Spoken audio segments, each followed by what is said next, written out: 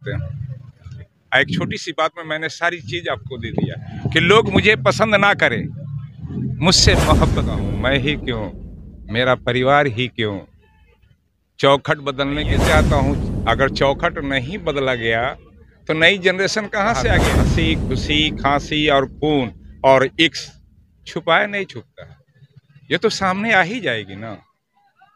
कि हाँ किसको यहाँ की नई जनरेशन अगर आगे जाती है तो किसको कितना तकलीफ़ होती है?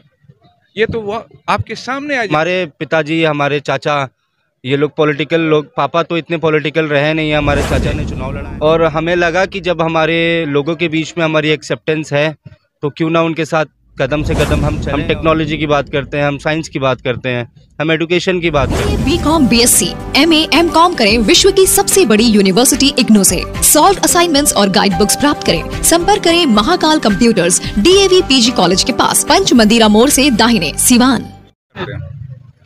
एक छोटी सी बात में मैंने सारी चीज़ आपको दे दिया कि लोग मुझे पसंद ना करें। मुझसे मोहब्बत मैं ही क्यों? मेरा परिवार ही क्यों? चौखट बदलने की चाहता हूँ। अगर चौखट नहीं बदला गया तो नई जनरेशन कहाँ से आ गई हँसी, खुशी, खांसी और खून और इक्स छुपाया नहीं छुपता। है ये तो सामने आ ही जाएगी ना। कि हाँ किसको यहाँ की नई जनरेशन अगर आगे जाती है तो किसको कितना तकलीफ़ होती है?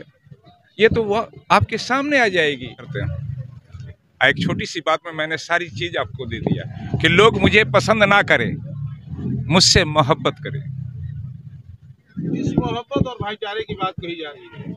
उसका इतना भव्य समापन होगा का कभी आयुब साहब ने सोचा था? ये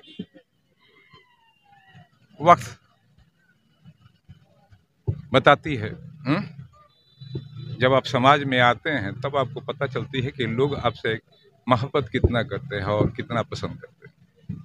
पिछले काफ़ी दिनों से आप सिवान में सक्रिय हैं क्या कोई राजनीतिक इशारा है या राजनीतिक करने का इरादा है?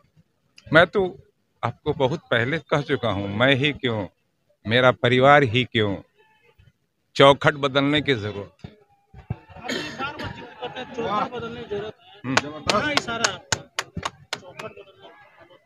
आप लोग बेहतर जानते हैं कि हम आम हमारी आवाम कितनी त्रस्त है।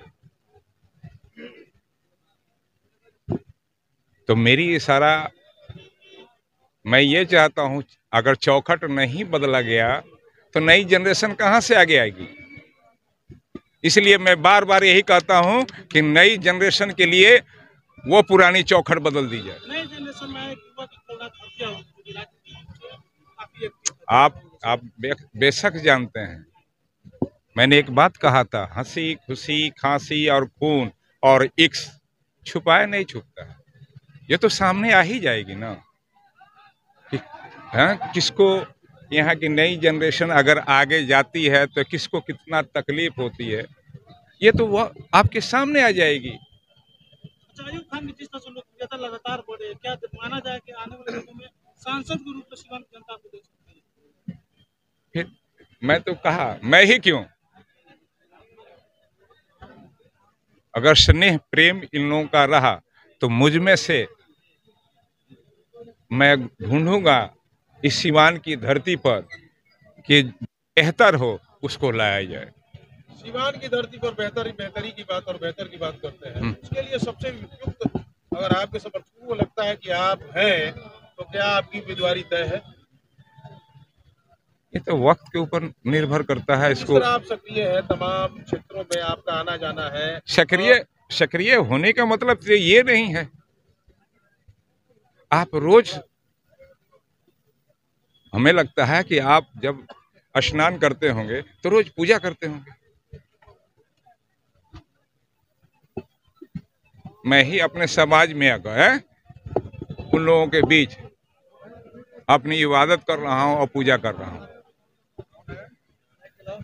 क्रिकेट टूर्नामेंट में पहुँचे हुए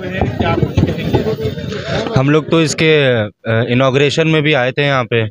और जैसा हम लोगों ने उस समय क्राउड देखा और इस टूर्नामेंट के लिए रिस्पांस देखा, और आज जब इसका एंड हुआ है, जो डिज़र्विंग टीम थी वहाँ जीत के गई है, और ऐसे टूर्नामेंट्स कितना प्रोत्साहन देते हैं यहाँ के बच्चों के लिए यंगस्टर्स के लिए, कि वो जिस भी लेवल पे यहाँ पे आके खेल सकते हैं रिवॉर्ड मिलता है रिकग्निशन मिलता है। लोग लोग जाने जाते हैं इन प्लेयर्स को सिवान जानना चालू करता है अगर कोई अच्छा खेलता है यहाँ पे। तो ये अ, हमारे अंकल लोग जकरिया अंकल और इन लोगों की तरफ़ से एक बहुत अच्छी पहल है जो हर साल टूर्नामेंट ऑर्गेनाइज कराते हैं और एक प्रोत्साहन देने की कोशिश करते हैं जिस भी लेवल पे वो दे सकें इन प्लेयर्स को।